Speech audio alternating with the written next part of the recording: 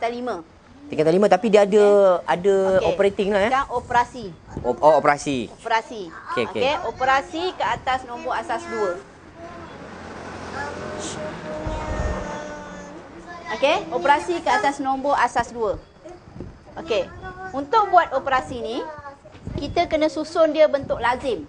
Bentuk lazim cikgu ya. Bentuk lazim. Bentuk lazim ini bentuk bentuk apa? Kita letak satu nombor tolak nombor sebelah sini. Dalam satu line aja. Okey. Sekarang bentuk lazim dia dua line. Nombor, tolak, nombor ni. Macam kita selalu buat lah. 16, tolak 8. Ha, ni bentuk lazim lah ni. Oh maknanya kita tak ada buat dalam tu lah. Ha, sekarang kita nak buat bentuk lazim yang ini. Okey, satu, satu, kosong, kosong, kosong, satu. Tolak. Satu, Kosong, Kosong. satu satu. satu, satu. Kedudukan dia masih sama macam kita tolak biasa tu cikgu ya. Ha, kedudukan masih sama. Okey. Maknanya ini sebaris. Okey. Okey. Sekarang ni untuk tolak nombor asas 2, cikgu bagi contoh tolak nombor biasa dulu Okey. supaya kita boleh kaitkan dengan ni. Kalau tidak tak faham macam mana nak buat. Okey. Okey, kalau kita tolak nombor biasa. Ini nombor asas 10. Nombor yang kita belajar daripada tadika lagi. Betul. Okey. Kalau kita nak ambil 6 tolak 8 tak boleh kan? Betul. Kita kata 6 tak boleh tolak 8, kita nak pinjam daripada sebelah. Okey. Betul tak? Betul cikgu. Okey. Kita pinjam daripada satu ni, kita pinjam berapa banyak? Ah, 10 cikgu. 10. Betul. Kita pinjam 10, dia tambah dengan 6 dia jadi 16. 16. Betul tak? Betul cikgu. Okey. Yang ini kita dah tolak satu tinggal Kosong. kosong. 16 tolak 8 kita dapat 8. 8. Ini operasi biasa. Okey. Asas 10. Mm-mm. Sekarang ni asas 2. Konsep dia serupa. Sama juga cikgu ya. Konsep dia. Okey, sekarang tengok ya. Satu tolak satu tak ada masalah lah. Kita dapat kosong. Betul cikgu. Sekarang ni problem kita kat sini. Kosong tolak satu tak boleh.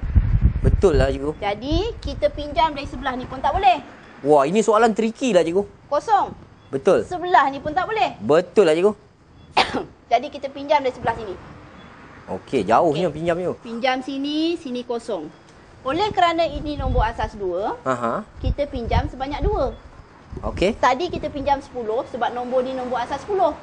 Okey. Ini nombor asas 2, kita pinjam dia 2. Jadi pinjam satu kosong. Eh?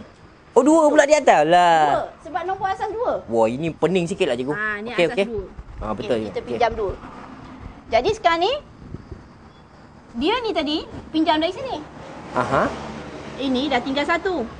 Betul. Jadi dua bawa kemari. Dia pinjam 2. Okey. Yang makcik ni pula pinjam daripada makcik ni. Makcik temah lah tu belah sana Ha. tu. Sini satu. Sini dua. Sini jadi dua. Okey. Okey. Hmm. Sini tak payahlah tak pinjam. Okey. Okey. Jadi sekarang ni kita tolak. Dua tolak satu. Dua tolak satu, satu lah cikgu. Satu. Ha. Satu tolak kosong. Satu. Satu. Satu tolak satu. Kosong. Kosong. Kosong tolak kosong. Kosong. Satu tolak kosong. Uh, satu. Satu kosong kosong. Satu satu kosong. Waalaikumsalam. Satu kosong kosong. Satu satu kosong. Ha. Oh, ini saudara cikgu ya? Ah ni adik saya dia tanya Malin. Oh, ya. Teruskan cikgu mengajar, teruskan. Ini ini datang berkeluarga ya? Oh, baru sampai ya? Wah, okey, okey, okey. Okey. Okey, teruskan cikgu, tak So, apa. ah apa jawapan dia? Ah, jawapan dia 100 110. Maknanya mana tu ya? 100 1 uh, B cikgu. Okey B. Ah, betul lah cikgu. So, saya rasa soalan ni pun saya mudah faham cikgu bila saya Ah. tengok tengok VCD ni memang senang lah cikgu. Okey, kita teruskan soalan yang ketujuh cikgu ya.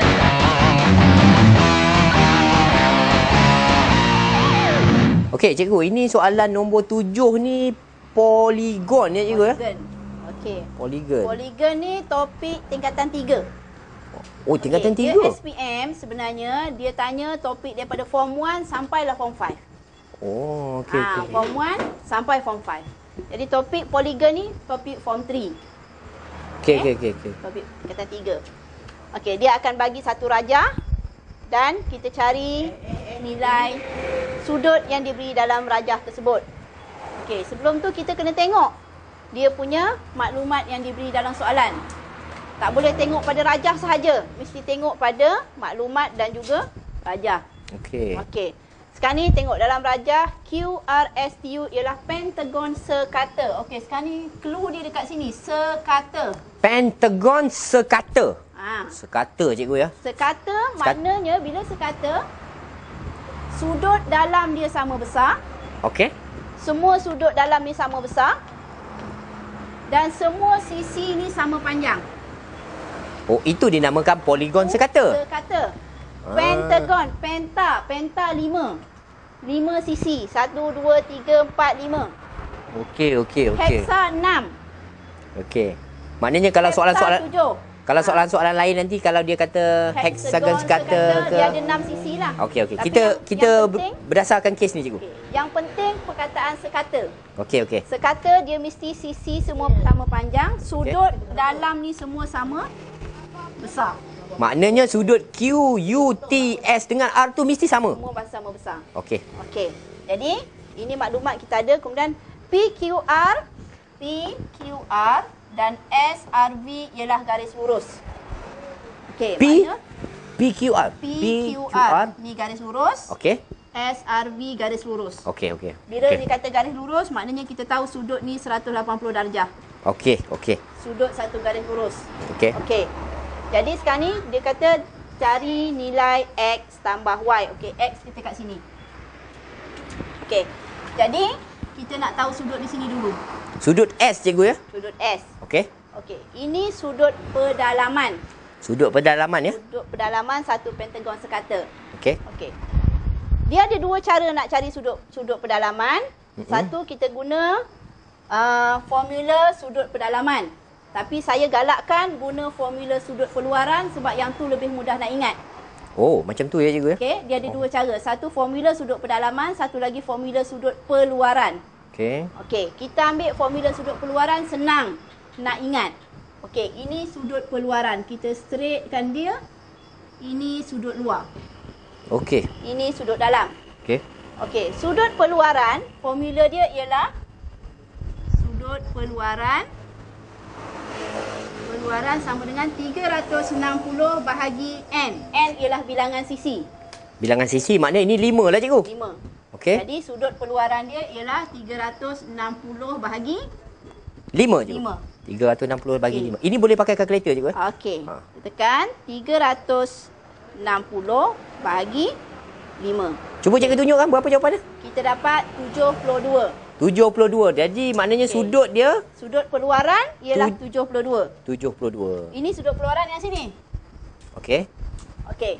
Kalau sudut peluaran 72, sudut pedalaman Eh, Miss 180 tolak 72 lah cikgu. 72. Betul cikgu. So kita dapat 108. Okey. Okey, sekarang ni TRS. Segitiga kaki sama. TRS. TRS. Segitiga kaki sama sebab dua sisi ni sama panjang. Oh, kalau macam tu sudut uh, Sudut ni- STR tu sama X lah. Sini X, sini pun X jugalah. betul? Oh, betul cikgu. Okey, sekarang kita nak cari X. Kita dapat di sini X tambah X, 2X. 2X cikgu ya. Okey, Okey. 2X sama dengan 100